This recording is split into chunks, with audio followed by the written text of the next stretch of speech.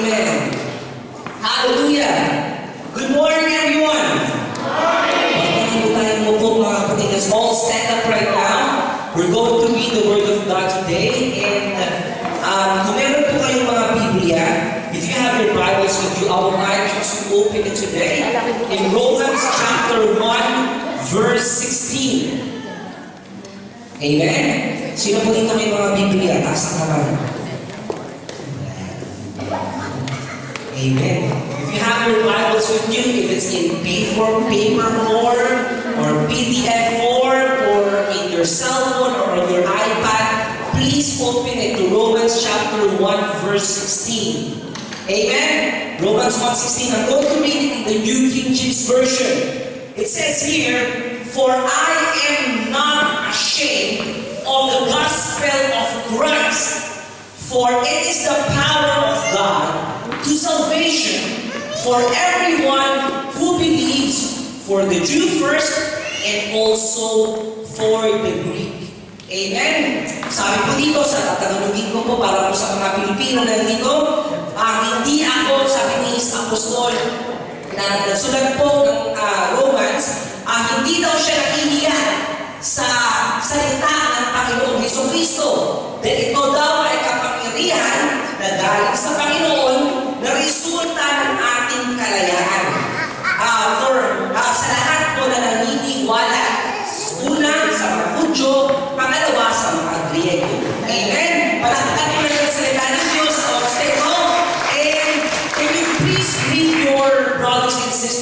Christ in front, in the back. If this is your first, if this is the first time you see this person, I greet them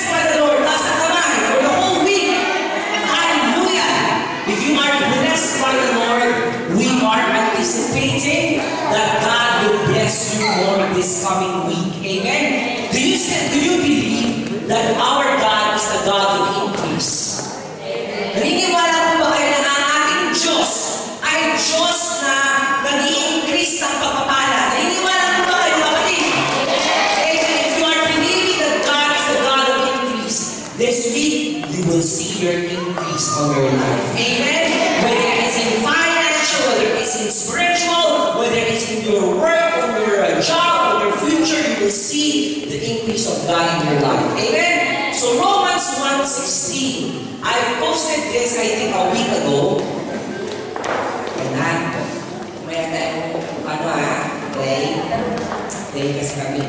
Hallelujah. So last week, I think I, I think I posted this uh, Sunday last week that we're going to continue our series regarding no other.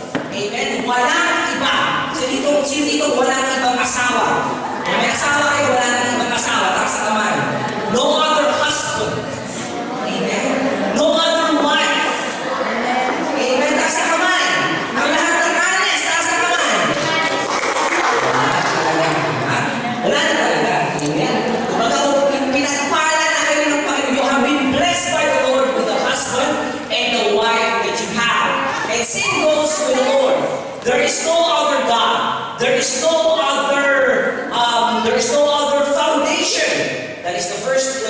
the first, um, that is last week's um, topic. And in the first week, we, uh, we talked about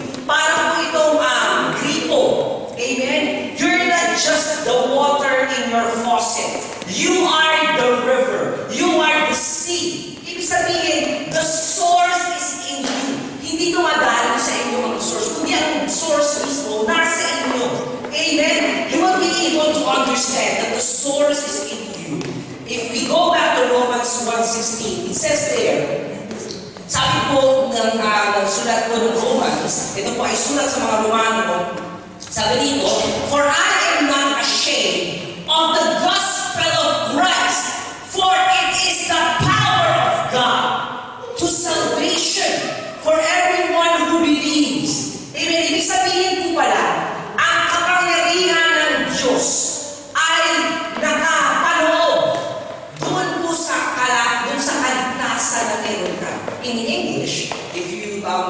forgot to translate that. Um, the power of God is in um, is attached to your salvation. So ibig sabihin po pala, hindi dahil sa Kristiyano, kasi nila, naku, Kristiyano, It's like, it's not, it's not convincing to be a Christian. It's not convincing to be in this kind of church. Because I've seen people that, I've, I've seen people that just raising their hands. I'm not, I'm not really sure if there's something that is going on in their life. But you know what? I would like to tell you today that in the, in, in the, uh, in the matter of their worship, in the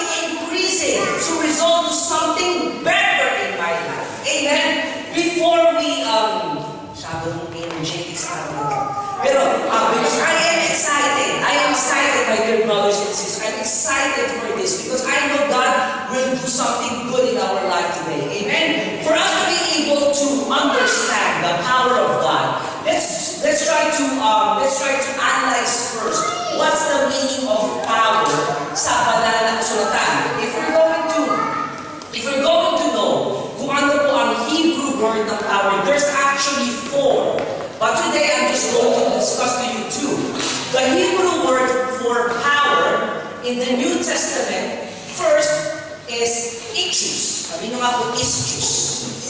Amen. Yan po ang Hebrew word ng power. Ang ibig sabihin po nito, eh, the power is ability or force. And then, it's also a strength. Amen? So, ibig sabihin pala,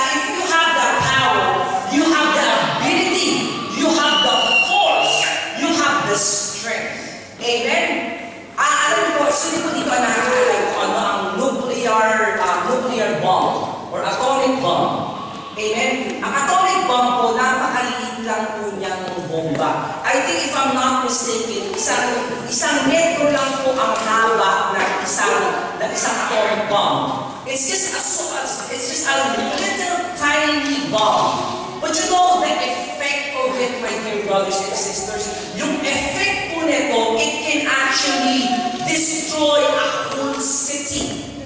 Amen? It can even destroy our whole country. Kagaya po nangyari sa Japan in uh, when they were um, when they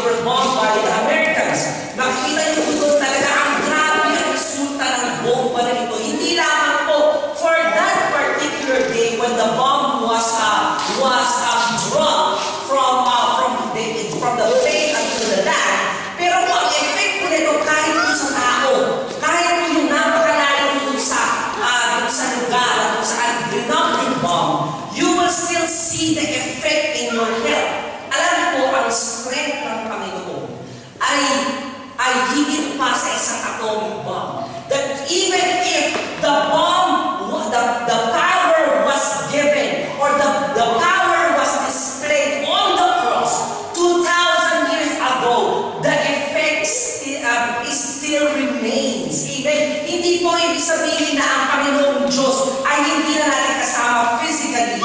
The power is not there anymore. Kasi may mga ibang hindi na sila naniniwala na mayroong healing. Hindi na sila naniniwala na may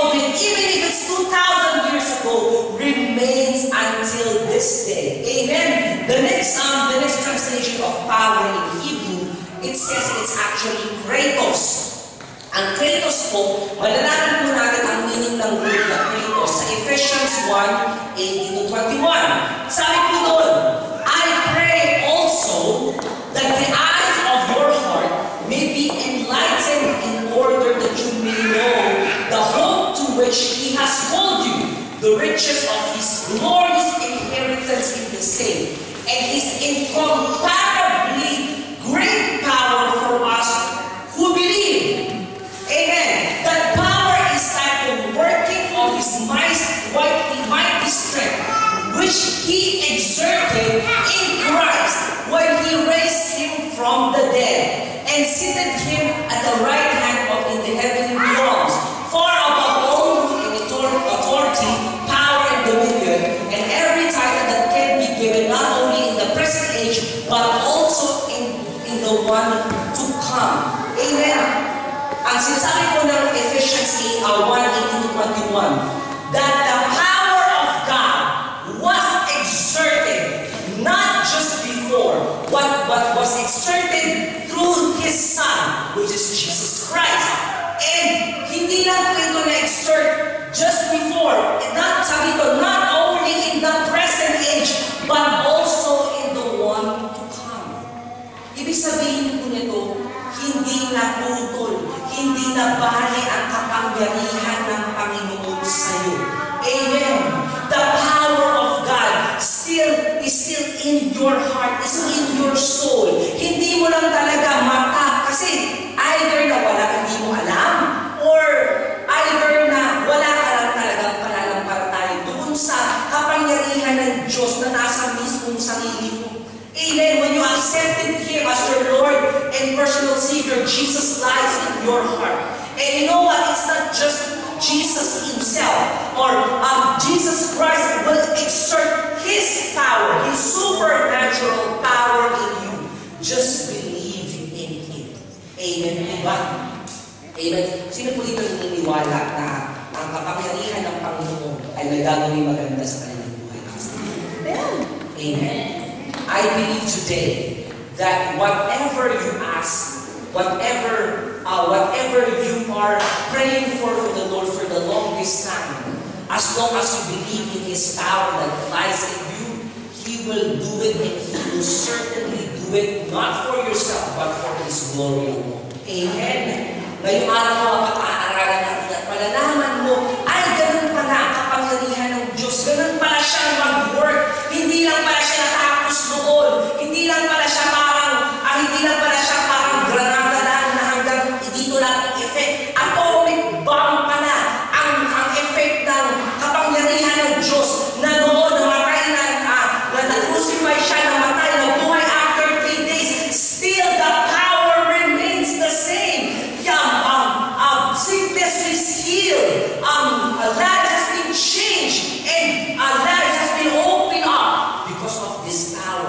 in us. Amen? Hallelujah! So what is the reality of God's power? Amen? Realidad ng kapangyarihan ng Diyos? What is the reality of God's power in us? Para po makita natin kung ano ba talaga ang ano ba talaga ang kapangyarihan na meron ka sa iyong buhay. Kailangan natin makita kung ano ba talaga yung realidad ng kapangyarihan ng Diyos. Amen. So first, what's the reality of God's power? That power uh, for us, the, the, the power for us to believe. Amen. Una po yun. Uh, last time, last, last time. Amen. Power for us to believe. Amen. Ito po ay kapangyarihan sa ating mga naniniwala. Amen. Sa taas po dito ang kamay ng mga naniniwala sa Panginoon. Amen. Hindi niyo ako ginijoke tayo. Baka naman tataas na kayo ng kamay dahil simple taas ko kayo ng kamay. Ha? Amen. You know what? Ang faith po, uh, ang faith o ang paniniwala, naglalay po, na, na, nag-work po yan sa ating mga sarili. Hindi po dahil sa, for example, yung pagtataas po natin ng kamay ngayon, hindi po sa dahil I ask you to raise your hand, it will work. Faith is not um it's not it's not forceful. Hindi po namin hindi po hindi po dahil ako po ay ako po ang nasa nasa stage ngayon. It's not because I am here, I will force you to have faith in the Lord. Kailangan po sa mismo manampalataya kayo at maniwala na may gagawin ang Diyos sa inyo. Amen. Amen. Because you know what? The more that you anticipate, and that is faith, the more that God participates. Ulitin ko po yun? The more that you anticipate, the more that God participates. Amen. Ibig sabihin, yung anticipation natin, pagdating sa kapangyarihan ng Diyos, kapag naniniwala ka talaga na may gagawin siya sa buhay mo, the more that God will participate with you. Kasi nakita niya, ay, ang laki ng pananampalataya ng tao to. That, that, uh, that, that problems is not holding him down. That, uh, that persecution is not holding him down. His faith is still in there. Naniniwala pa rin siya, nagagano siya. He's still believing that there is healing. He's still believing that there is salvation. There is, he's still believing that there is change. Kahit na, kahit, kahit na sobrang da- da- dumadanas na siya ng problema. You know what? God will see your faith, your big faith in the midst of your sorrows. Amen? Sabi po na Ephesians 3.20, sabi dito, Now to Him who is able to do immeasurably more than all we ask or imagine, according to His power that is at work within us. Amen? Yung more than all we ask or imagine, hindi na po yan imagination. Yan po ang pananampalataya na meron ka. Amen? For example, you are sick right now. Ay, sick, yung kumbaga, ah, may, may, may sakit ka sa oras. And the, the the power of God will work in you It's not just the way that the doctors will do something in you. Kasi minsan, ang, ang pwedeng gawin ng doktor sa atin, eh, hanggang doon na lang. Kumbaga, meron siyang limitation, di ba? Hanggang dito na lang yung gamot na pwedeng ibigay sa'yo. Hanggang dito na lang yung pwedeng sabihin sa'yo kasi wala na talagang pag-asa. But you know what? God, um, God is working beyond the boundaries or limitations of man, my dear brothers and sisters. Kahit na sabihin ng doktor na hanggang dito na lang ang buhay mo, na hanggang dito na lang ang kaya mong gawin, if God says so, He will do it in your life. Amen? And He did say so. Kasi po na, kasi po nangako siya sa atin that by the stripes of Jesus, you are healed. Amen? Kailangan lang pananampalataya. Kailangan lang ilagay ang sarili mo doon sa ah, pangako na meron ng Panginoon. Like, oh, like what I'm saying earlier, you are sick, but you are putting yourself that, you are saying yourself that, ay nako, naniniwala ako sa oras na ito. Kahit na sinabi ng doktor na may sakit ako, magaling na ako sa pangalan ni Jesus. Kahit na sinabi ng bangko na baon na ako sa utang, alam ko may gagawin ang Diyos sa akin and He will do something good, something magnificent, something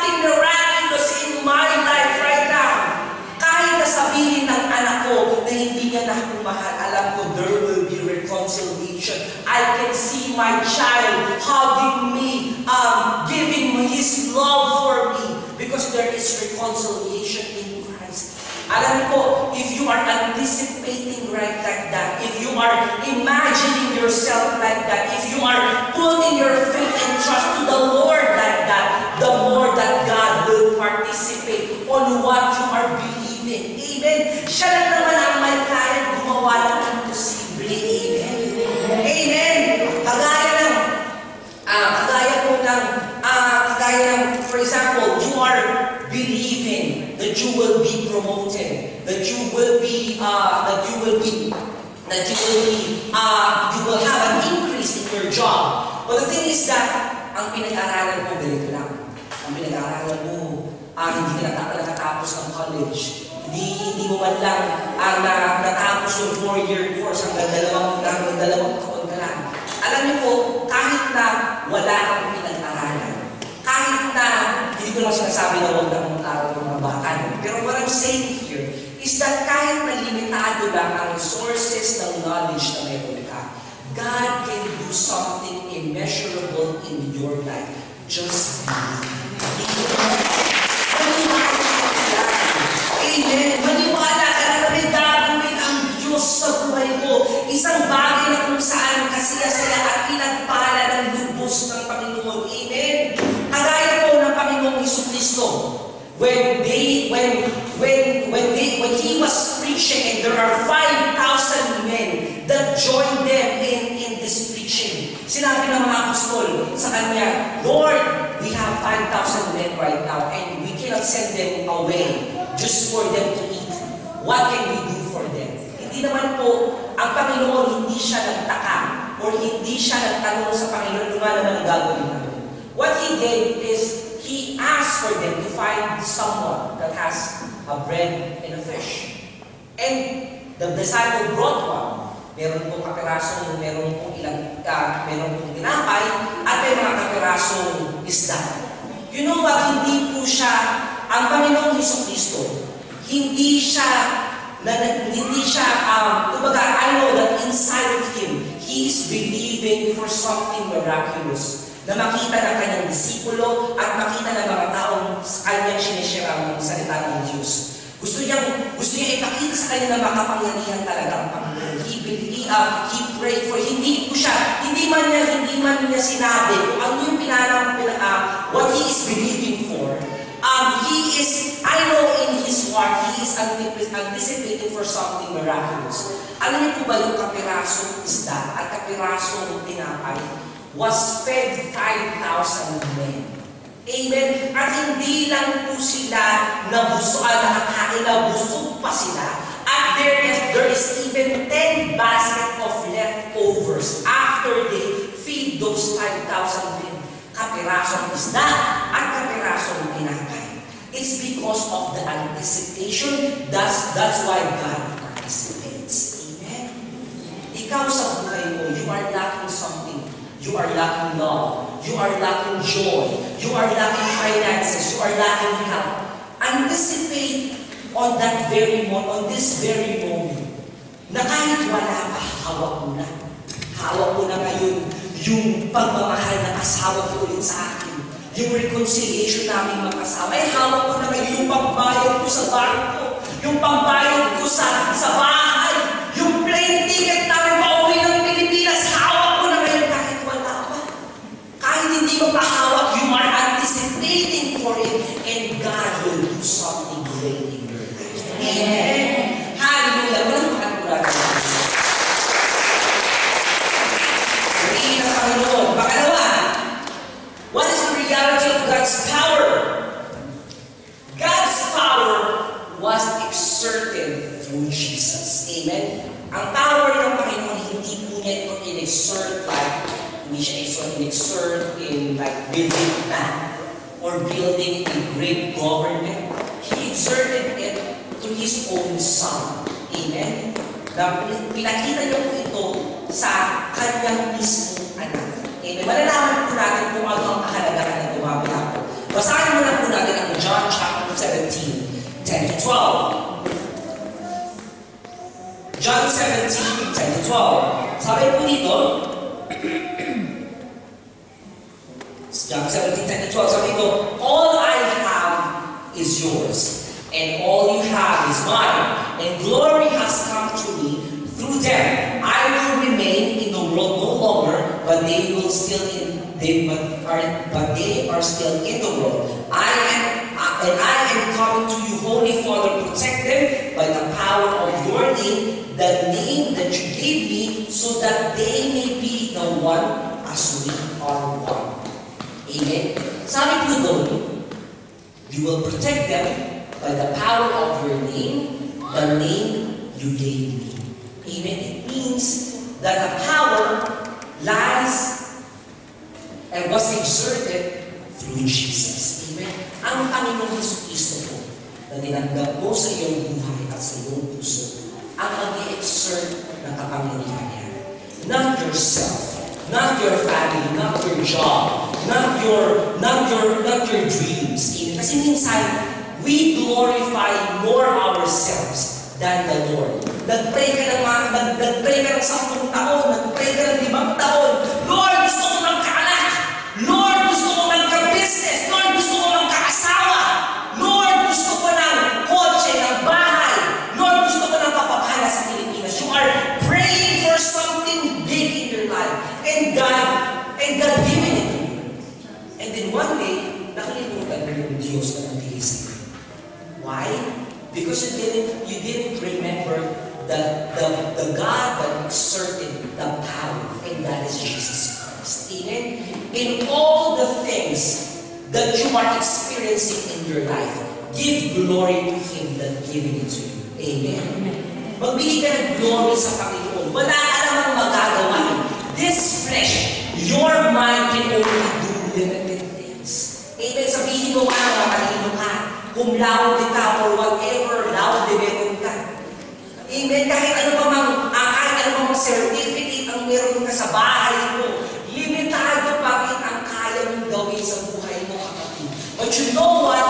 God is an unlimited God, a miraculous God, a supernatural God, na, na akala mo hanggang dyan na lang ang buhay mo, pa siyang gagawin mas maganda sa. Amen? You know what? I, there is this one story that I've been reading, um, reading earlier. I'm actually watching earlier. This is a story um, with this man that is living in Brooklyn. Ang Brooklyn po parang East London. Is parang siya East London. Talagang magulo po talaga yung place. And this guy right here has been has been uh, has been uh, has been trying to um, to ask by this pastor to join them in the church. He was asking, oh, sabi ka naman sabi, can you join us in the church? Sabi niya, no, I'm not going. And this man, this ito pong lalaki ko na, uh, na ayaw ko sumama sa church, was convicted 60 times. Alam na kung beses na po siyang makulong because of violent acts in Brooklyn. Siya po ang laging mastermind. And you know what? This pastor keeps on coming back to him. Oy, join ka naman sa church this time. Church, join ka naman sa church. Punta ka naman sa church namin. And sabi niya, naku, wala kang oras dyan. Ako, may gagawin ako. Ay, naku, sige, okay lang. Okay lang, next time na lang siguro. And you know what? This pastor keeps on praying and praying and praying. Lord, let your power be exerted to him para maniwala siya na kailangan niyang kilalanin ka Diyos at tagapagligtas. Alam niyo po ba one night, when this guy, this convicted guy, was, uh, was sleeping, nagulat siya na meron pong, wala, meron pong talagang grabing ilaw sa kanyang, sa kanyang harapan. Sobrang, sobrang liwanag po ng ilaw na hindi na siya makakita. And he, and he, and he asked, sino dyan, sino, may, sino, sino ang nandyan? Sabi ko, may nasalita akong lalaki, I the Lord, Jesus your Savior. I am here to save you. Nagpakita po sa kanya ang Panginoong Iso Kristo mismo. And you know what? That Sunday, nagulat yung lalaki, nagulat yung pastor na keeps on reminding him to go to the church. Sabi sa kanya, hindi na, hindi na siya inas pastor. That Sunday, sinabi sa kanya ng pastor, ay sinabi sa kanya ng convicted guy, Hey, hey, hey, I'm going to join you today. I've seen Jesus in my room. I've seen Him last night. He is the Lord and Savior. I will join you today. And you know what? Nagulat guy, life, his life changed tremendously. Bilang convicted guy and now a saved guy. Amen. Naramdaman ng lalaki yung pag-ibig ng Panginoon sa kanya when he joined the church. And you know what?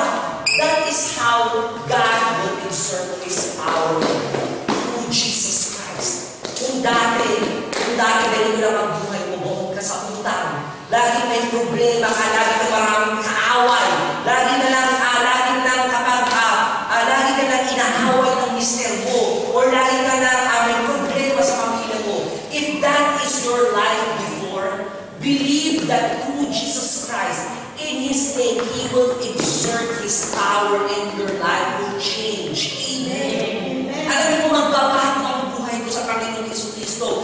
If this, if this is your first time joining this church, alam mo, hindi po kayo nagkamali ng Kasi makikita nyo sa buhay nyo that Jesus Christ will exert His power in your life and your life will change tremendously. You might be sick right now. Your family is encountering so much problem right now. But I believe that Jesus' power will encounter you and will do something miraculous in your life. Amen.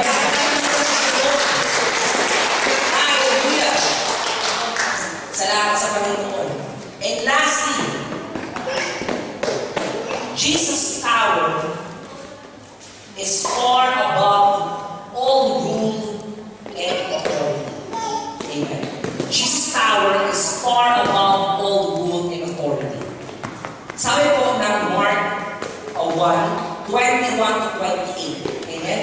Ang nakadisplay lang po sa screen yung 27 to 28. But I'm going to read to you from 21 to 28. Sabi po dito, they went to Capernaum and and when the Sabbath came, Jesus went into the synagogue and began to teach. The people were amazed at his teaching because he taught um, he taught them as one who had authority, not as the teachers of the law. Uh, not, just, not just as the teachers of the law. Just then a man in their synagogue who was possessed by an evil spirit cried out, What do you want with us? Jesus of Nazareth, have you come to destroy us? I know who you are, the Holy One of God. And Jesus said, Be quiet. Jesus, uh, be quiet. Jesus said, uh, said Jesus sternly, Come out of him. The evil spirit shook the violent man and came out of him with shriek. The people were also amazed that they um, that they asked each other, "What is this? A new teaching and with authority, and he even gives orders to evil spirits, and they obey him." News about him spread quickly over the whole region of Galilee. Amen. Ang kapangyarihan po ng ating Panginoon Cristo, ang ating Panginoon Cristo, is far all rules and authority. Mean by rules and authority? It is far beyond limitation and rules of man. Amen? Kung ano man po ang isinet ng tao or isinet ng mundong ito, kayang gawin ng Panginoon sa iyo supernatural. Amen? Like this guy right here, like this man, he was possessed by an evil spirit. Amen? Sa medical science po, sabihin na nila ay baliw yan. Nagpasok yung mental hospital yan, makabuwaling yun. Amen? Ibig sabihin, meron silang limitasyon. Hindi nila kaya pagalingin yung lalaki ito. Even he was, because he was demon possessed, they will say that he is crazy. But you know what? Jesus himself was crossed over through the limitation of man. Nag-cross over siya doon. And he said, and he, and this, and this, and this evil spirit recognized him. Sabi sa kanya, What do you want with us, Jesus of Nazareth? Have you come to destroy us? I know who you are, the Holy One of God. And, he, said, Be quiet, come out of him. Amen. In medical science, hindi kaya gawin ng doktor ito mga kapatid ko sa Panginoon. Medical science cannot do this. The doctor cannot tell you, especially if he didn't know about Jesus Christ. He cannot say to you, come out! Come out sickness! Come out evil spirit! Sa isang pasyente. Kasi there is rules in medical science that he will have to follow. But you know what? Jesus is far beyond all rules and limitations of man. Ang hindi kaya gawin ng siyensya, ang hindi kaya gawin ng bangko, ang hindi kaya gawin ng pamilya mo, ang hindi kaya gawin ng pagmamahal na inaasama mo sa puso mo, ay kayang gawin ng Panginoon. He is far beyond all rules and authority. Amen. Do you know what happened to uh, King Hezekiah? I think I've been mentioning this for quite some time now, but I'm going to repeat it today. King Hezekiah was um, uh, was uh, was um, informed by a prophet. You know what King Hezekiah will only live for a few more days. Mabubuhay ka na lang ng ilang mga araw. Kaya, pag lumaki ka na, just pack your things, um, do your last will and testament, you will die soon. And you know what? King Hezekiah knows that he served the Lord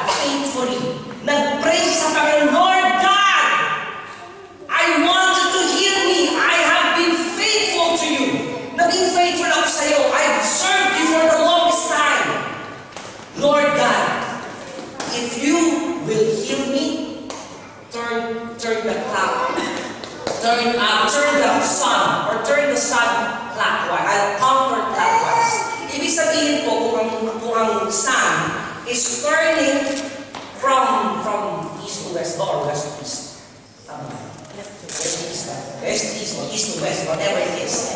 East to west, from east to west. Um, Hezekiah wants to do it from west to east. Just for him to see the sign that he will be healed. You know what? God turned back time. Ginawa niya yung hiningi ni Hezekiah sa kanya. Because he has a faith.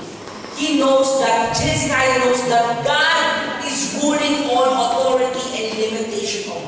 And God did. Amen. Ikaw sa buhay mo, kung sinasabi ng doktor sa iyo hanggang dito, lalo kaya namin gawin eh.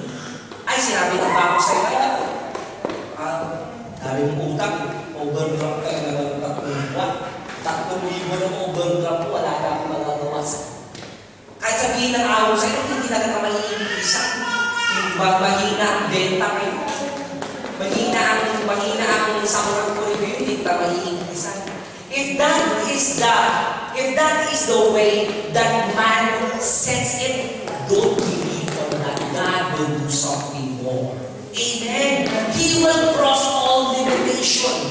He will cross all every rule. Kahit sinabi ng amo, kahit sinabi ng doktor, kahit sinabi, kahit mismo ng presidente ng Pilipinas o presidente ng, ng itong UK, I know for myself that God will do something great in your life. Amen.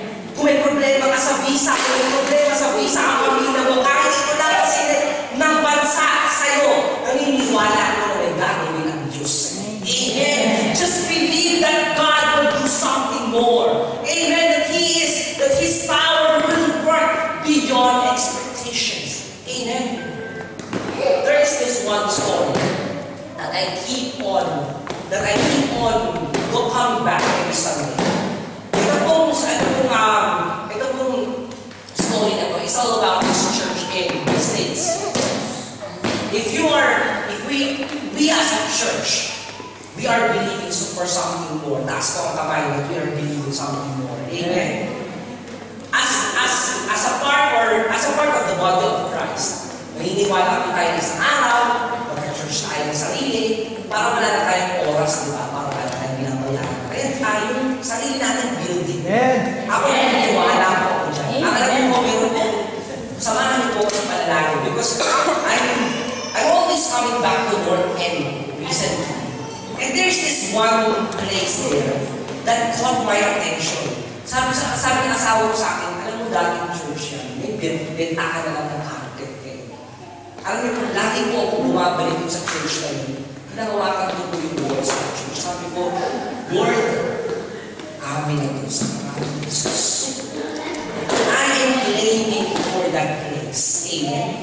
And you know what? There is this one church that claim for some, the same particular thing um, in the States. Bilang church, di ba? Di ba? Di ba parang dinatago ang funds natin minsan, di ba? Or we are just believing that God will do something miraculous. And same thing with them. There's, they're, they're a big church, to tell you honestly. But they, um, as financially, they cannot do it. But you know what? There is this one place that caught their attention. Yung isang place mo yun, dati kong doon naglalaro ang basketball team, lugar nila. And their and they when they when their council, their whole city says that we're going to open this place for bidding for interested buyers. So sinusold na yung place, pinag pin, um, pin, um, binibenta na yung place. binibenta na. Binibenta na yung place. Binibenta na yung place for um, um, for they, they bid for alam niyo po ba, na nampalataya sila for quite some time, sabi naniniwala sila na, na, nako, Lord, magbibigay ka ng funds. God given them the funds. Nakapag-loan po sila sa isang bangko at nagbigay sa ang nagbigay ang bangko sa kanila 100 billion dollars. So meron na sila 100 million, bibili na yung place. The thing is that, yung mismong council ayaw sa kanya. Isang boto na lang sa kanila na yung place. Sa talagang grabe, ayaw, ayaw, kung yung, kung yung church din yan ang mag-acquire ng place na ito, huwag na lang. Na-event ang place na yan. You know what? There is this, one, one day, there, this pastor is preaching to his church and they are, um, they are praying. Um, this, um, meron po isang babae sa harapan, yes, Sister Frida, yung, yung babae na yun. Um, she attended the church for the first time. And she was blessed by the word of God that Sunday. And she heard that they are bidding for this, this place in, in the city, kaya nga hindi nila ma-acquire because of this council that, that keeps on um, um, keeps on harassing them. And you know what? Accidentally, pero hindi naman po talaga accidentally kasi alam mo, yun talaga ang will ng Panginoon. Itong babae ito, best friend ng councilman. Eh, may kaibigan ng malapit. Nung nalaman niya na yung mismo best friend niya, yung